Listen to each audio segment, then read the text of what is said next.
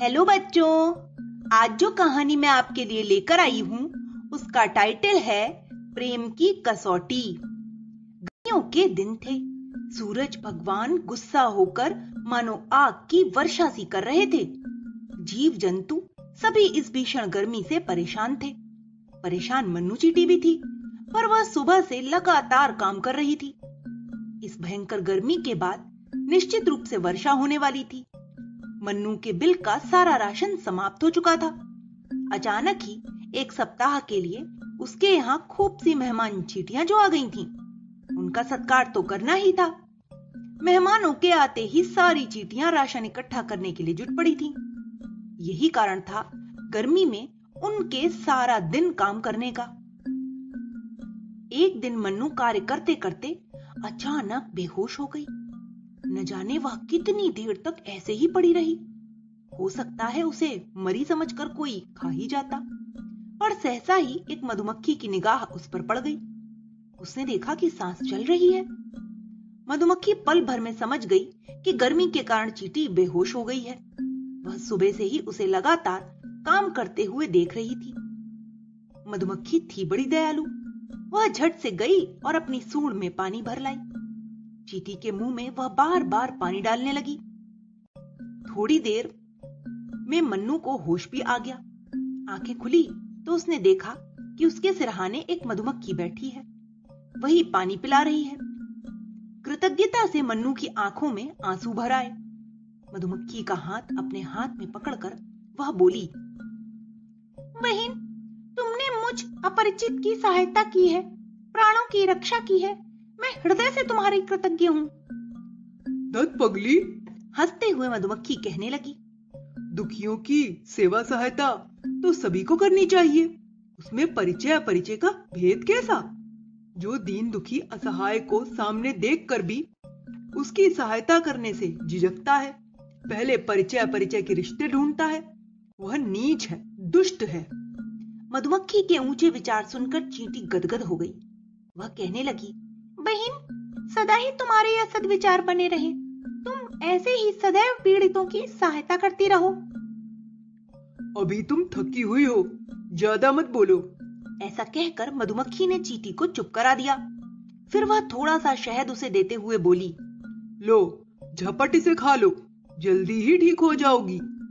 मन्नू चीटी प्रसन्नता और कृतज्ञता से भर उठी। उसने धीरे धीरे शहद खाया। वह बड़ा ही मीठा और स्वादिष्ट था। उसे खाकर मन्नू जल्दी ही स्वस्थ हो उठी।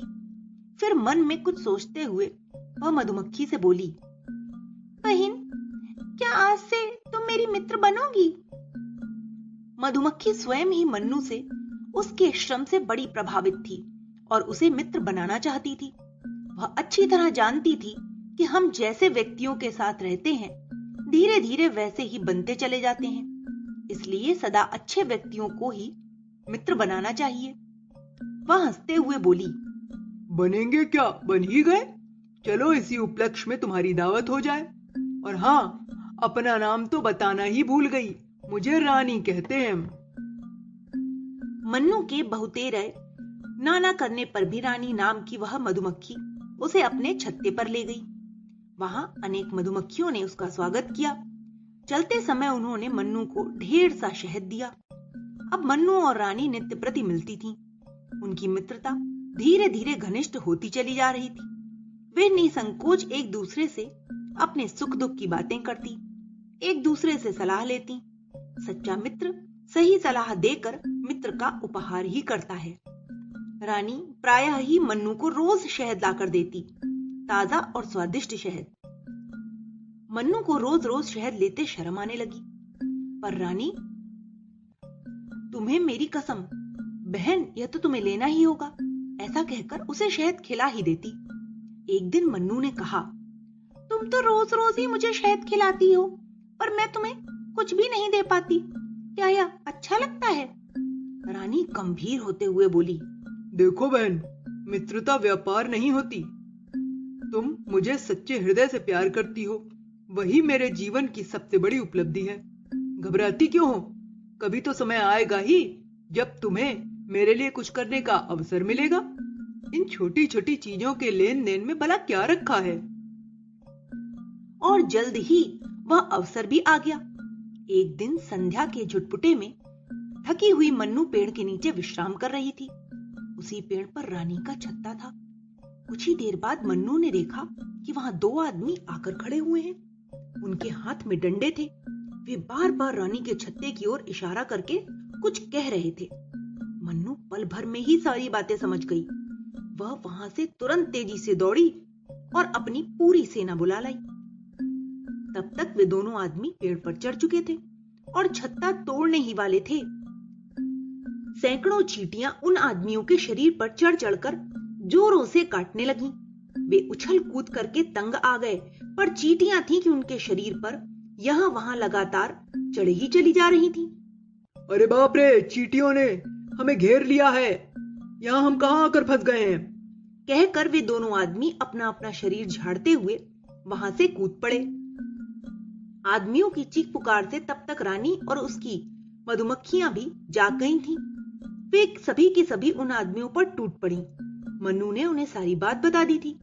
मधुमक्खियों ने उन मनुष्यों को खूब काटा और दूर तक पीछा किया, जिससे वे वहाँ दोबारा आने की बात सोच भी ना सकें। संकट की स्थिति दूर हो जाने पर रानी ने मन्नू को गले लगा लिया।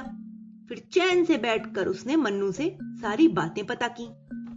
मन्नू और उसकी सहेलियों ने अपने प्राण संकट में डालकर भी मधुमक्खियों की रक्षा की थी। रानी और दूसरी मधुमक्खियों ने उनका बहुत बहुत आभार माना। फिर रानी ने सभी चीटियों को शहद की जोरदार दावत खिलाई। रानी हंसकर मन्नू से पूछने लगी। कहो अब तो तुम्हें हमारे लिए जी भरकर कुछ करने का अवसर मिल गया ना? तुम तो रोज रोज इसी चिंता में दुबली हुई जा रही थी। रानी की इसी बात पर सभी चीटियाँ और मधुमक्खियाँ भी हंस पड़ी। तभी एक बूढ़ी मधुमक्खी कहने लगी बेटी सच्चे मित्र से सहायता मांगनी नहीं पड़ती। वह तो सहायता के अवसर ढूंढता रहता है और बिना कहे ही मित्र की सहायता करता है। मधुमक्खियों की रानी उसकी बात का समर्थन करते हुए बोली हाँ काकी, ठीक ही कहती हो तुम। इसके विपरीत दिखावटी मित्रता वाला झूठा मित्र तो सहायता का अवसर देखकर मुँह छुपा लेता है। मित्र की विपत्ति की बात जानकर भी वह ऐसे दिखता है जैसे उसे कुछ पता ही नहीं है। ओह संकट की घड़ी में ही तो हम अपने मित्र, परिचित और संबंधियों की परख कर पाते हैं। एक मधुमक्खी गंभीरता पूर्वक बोली। रानी मधुमक्खी फिर कहने लगी, त्याग और बलिदान ही प्रेम की कसौटी है। हमारे स्नेही जन हमें कितना चाहते हैं, इसका पता इस बात से लगाया जा सकता है कि वे हमारे लिए कितना कष्ट सहने को, कितना त्याग करने को तैयार रहते हैं। मन्नू बहन, हम सब धन्य हैं। जो तुम्हारा और तुम्हारे माध्यम से तुम्हारी सभी बहनों का सच्चा स्नेह पा सके। रानी अपनी बात पूरी भी नहीं कर पाई थी कि सारी मधुमक्खियों ने सिर हिला हिलाकर जोरों से पंख फड़फड़ा फड़फड़ा कर उसकी बात का समर्थन किया। विनय से सिर झुकाकर मन्नू बोली, ओह, यह तो हमारा कर्तव्य था। क्या हम आपके लिए इतना भी नहीं करते? इस पर रानी कहने लगी, संकट की घड़ी ने हमारी मित्रता को और अधिक निखार दिया है। फिर से एक बार सभी मधुमक्खियों ने कृतज्ञता व्यक्त की और मन्नू तथा उसकी सहेलियों की प्रशंसा करते हुए वे अपने छत्ते की ओर बढ़ चली। तो बच्चों, इस कहानी से हमें यह शिक्षा मिलती है कि हमें हमेशा दूसरों की सहायता करने के लिए तत्पर रहना चाहिए। यही हमारा कर्तव्य है और यही मानवता की सबसे बड़ी कसौटी है। Okay, bye.